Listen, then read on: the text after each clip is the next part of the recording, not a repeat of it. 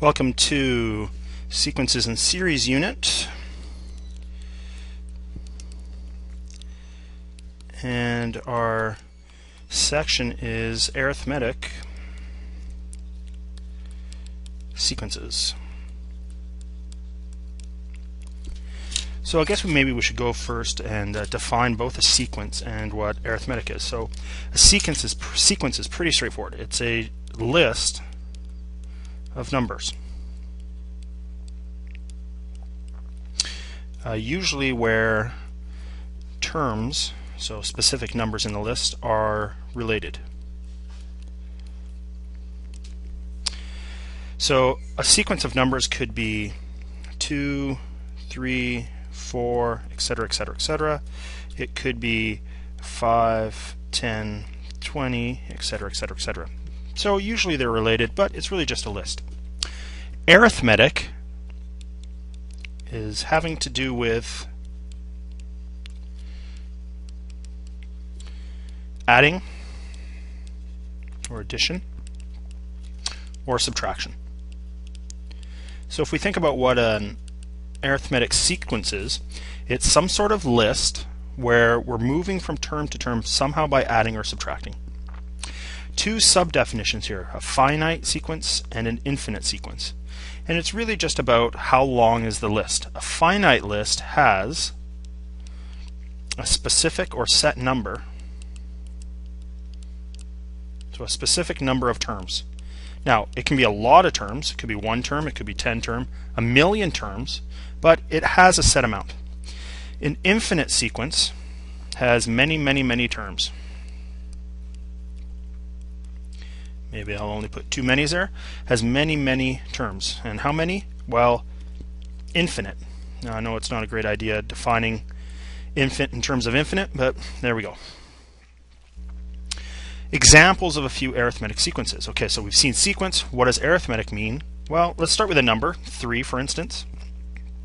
And let's keep adding 4 to it. So 3 plus 4 is 7, then 11, then 15, then etc., etc., etc. It keeps on going forever and ever. Um, we could have 2 as a first term, and then let's say we subtract 5. And subtract 5 again to get negative 8, and etc., etc., etc. decimals, fractions, all these things work. Uh, let's start with negative 5.1 as a first term. Our second term, if we added, let's say, 4, could be negative 1.1. Add another 4 would be 2.9, and etc., etc., etc. So you'll notice all the time that I've been talking about writing down this list, I always start with the first number, and I talk about how much am I either adding or subtracting. So that's really the two numbers that define an arithmetic sequence. We have the first term. What is the first thing we write down? And what we're going to do for that is we're going to use a t with a little subscript of 1. So there's first term. So if I wrote down the first term, the next thing I'd have to talk about is how much am I either adding or subtracting. And this is the common difference. So the common difference, which we're going to use a little d to denote, is basically how much we add or subtract.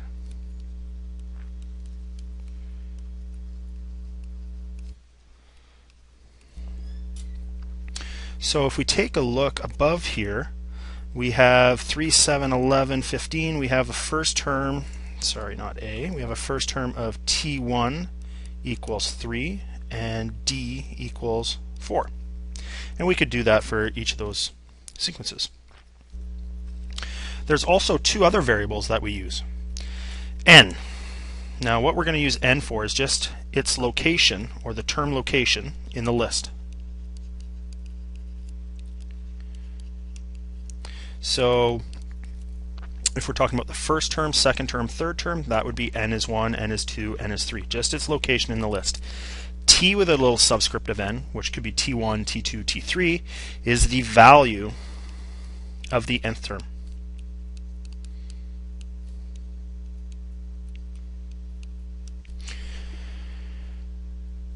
If you want to stop at any time, go back and finish up some of these notes, that's great. Or we can just move on. Let's investigate this uh, arithmetic sequence of 3, 5, and 7. I prefer to write down what all these terms are. T1 is 3. The common difference is 3 plus 2 is 5. 5 plus 2 is 7. So we get 3 and 2. Let's take a look how we can build this list and maybe generalize some sort of formula here. So our list is 3, 5, and 7, and then that carries on. Um, 3 is clearly just 3. 5 is we must have added 2. 7 is we take 5 and add another 2. So it looks like this is term 1. This is term 1 plus d. And the third term is term 1 plus 2 of the d's. So, if this is term 1, so let's say n equals 1, here n is 2, n is 3, somehow we should be able to generalize what the equation is. It looks like every single term, so if we're looking for a general equation, has t1 in it. It also looks like we have a number of d's. How many d's do we have? If we take a look at term 2, there's 1d, term 3 has 2 d's. It looks like there's one less term than the term number.